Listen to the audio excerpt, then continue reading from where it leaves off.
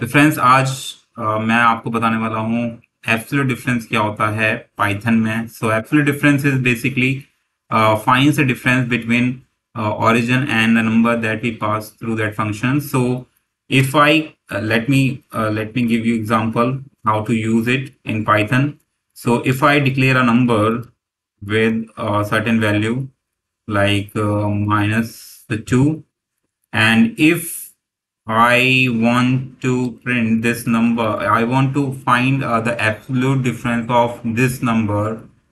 Then how will I print this number? So I just, so basically I, am going to use ABS, with, which is a absolute function uh, to return absolute. So this function return a value.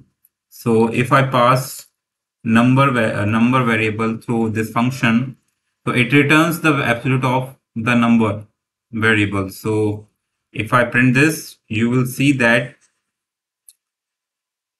it will return mine 2 only. So basically it is finding the distance between or it is finding the difference between uh, origin means 0 and minus 2. So basically and it is regardless of the direction where so it doesn't uh, depends on the directions it just returns the difference between 0 and the number that we passed through this function. So if I uh, put any, uh, if I put 10 here positive, so it will return positive. So we can uh, conclude that if I uh, uh, if I pass any positive in positive number, the the number the uh, the number that this function will return will be the same.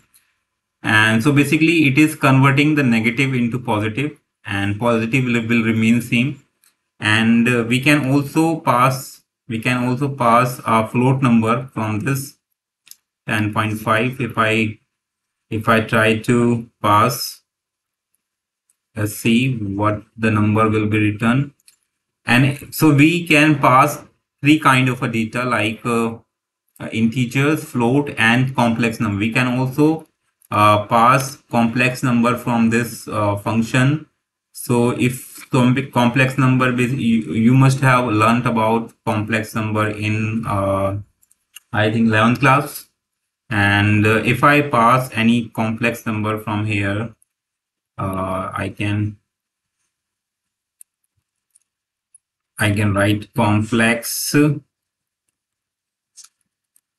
And uh, I'm going to declare num complex variable with complex number 3 minus 4 iota. Fine. So basically, when we pass complex number, it will return the magnitude of that, uh, the complex number. So, so I'm just going to pass complex variable from this function and it will return basically the magnitude of the complex number.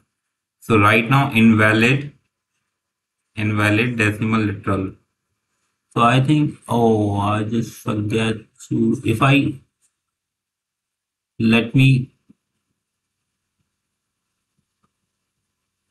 if I use, let me print again, let me run it again. So it is saying that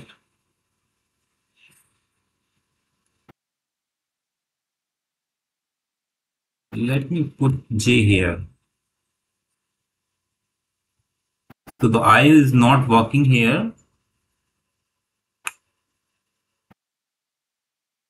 So I is not working here. So you can put uh, J here to make it complex.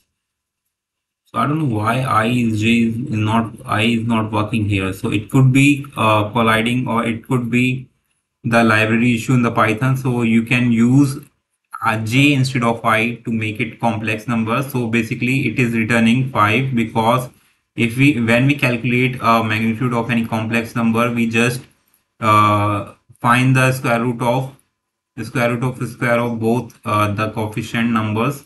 So if we if we basically uh, find the square of both numbers will be 9 and 16 and if we, if we add up both we'll get 25 and the square root of 25 is 20 only 5 so that's why it returns 5 number. So hope you understood hope you like it. And so basically it returns the magnitude or it returns the difference between origin and the number we pass through these functions. So thanks for watching. Bye bye